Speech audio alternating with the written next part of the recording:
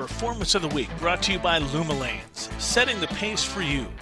Please enjoy this week's performance highlight swim and check out lumalanes.com for more information on how you and your team can follow the light.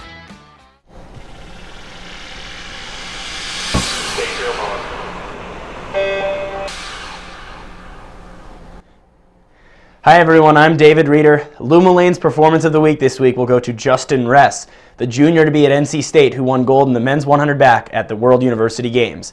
Ress's time of 53.29 was just a little off his personal best, but if that swim is even the slightest bit disappointing, it's just a sign of how far he's come this year. He had never made an international team before this summer, but he went to the World Championships where he finished fifth in the 50 back, and he already has two golds from World University Games. He had the fastest split in the entire field on the men's 400 free relay on night one, helping lead the Americans to gold before he won the 100 back on night two.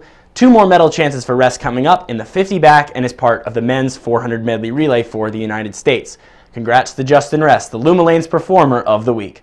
I'm David Rieder, back with another top performance next week.